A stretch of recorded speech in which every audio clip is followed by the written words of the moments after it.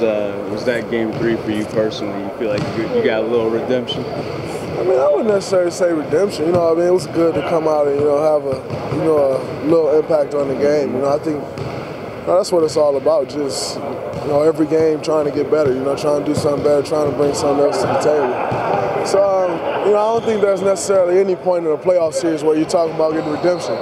You know, because it's the first person to win four games, so getting redemption, that's not what it's about. You know, some things aren't going to go as well in game one as they may go in game two or three or four. So, you know, I think going out, you know, with a mindset of trying to get redemption is pretty much the wrong mindset because, you know, like I said, at a point where you're trying to win four games, now if it's, you know, one and one or, you know, we played them twice this year, they got me the first game, I got to go get my redemption the second game, and that's different. But, you know, as far as, you know, a series, a, a seven-game series and, you know, trying to get redemption, I don't necessarily think that's the case. Maybe I'm making too much of it, but but it looked like you uh, you like that swipe you got at the end of the third quarter. Oh, definitely. I mean, you know, that's just, you know, just trying to, you know, just bring energy to the floor, you know, but you know, that, I mean, that definitely felt good, you know, just to, you know, get the turnover right there, you know, last second situation because, you know, a shot at the end of the third quarter is just as big as a shot at the end of the fourth quarter. You know, it all makes a difference. So, you know, I'm just, you know, it was a great feeling to get, you know, get the strike, get the swipe and get the strip and, you know, we always talk about closing out quarters, you know, so to be able to close out a quarter with a turnover, I think it was just a big momentum builder. Was that the hype at the end of the game? Uh, yeah, I was pretty pumped about that one. Uh, you know, just you know, one thing we always say is, you know, it's it's not easy, but it's easy to, you know, go get a bucket at the end of a quarter or at the end of a game than it is to go get a stop. You know, so you know, it's always great to you know end something on the defensive end. You know, as opposed to you know, you hit that last shot or you, you know, you send us up, put us up for a game, or you know, at the end of the quarter, everybody's going to get hyped. You know, but you get that last stop.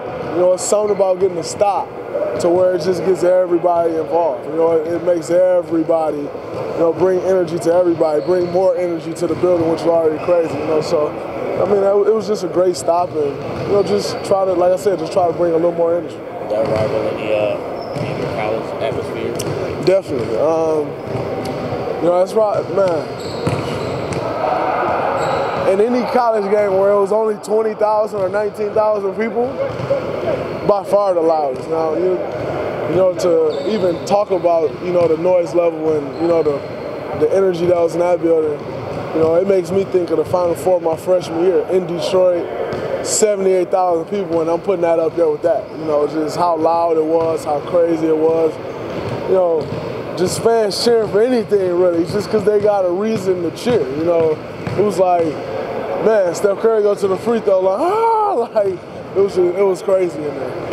How important is it to see Bogut out there bouncing people around and maybe even the Nuggets looking over their shoulder? Very important. Um, you know, Bogut has really been an anchor in the middle of our defense, and you know, not only so important of what Bogut is doing, but also showing Festus, you know, teaching him how to be that anchor in the middle. You know, so it's been great because now, you know, as opposed to just playing you got a great defender to watch and learn from, and then go in and try to counter that, and you know, try to bring something else to the table. So, you know, I think Bogut in the middle of our defense has been really important.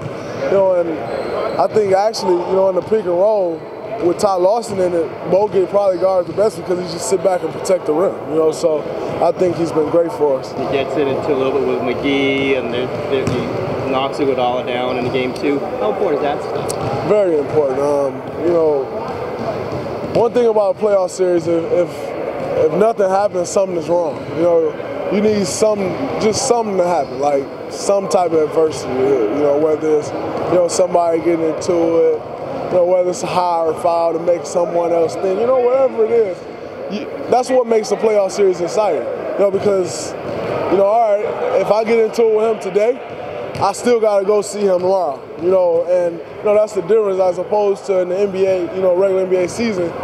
We may play you in November, then play you again in January. You may have forgot about it, but the fact that, all right, we just got into it today, we got to see each other a day from now. You know, it just gives it that little added extra, you know, motivation, that extra push that you know sometimes you need. I know he's out a lot. Does he play sort of like that in practice sometimes too? Like, does he? Definitely. I mean, um, you know, it's tough to get to the rim in practice with Bogut in there, but You know, that's been Bogut his whole career. And, you know, for us to have that on this team, I think is definitely helping our defense out a lot because, you know, all right, I got beat, but I know Bogut's there. You know, whether it's taking the charge, whether it's blocking the shot, you know, I know he's there. And, you know, when you got that, you know, that anchor in the middle to where, all right, I got beat, but I know somebody there to get my back, you know, it makes a huge difference.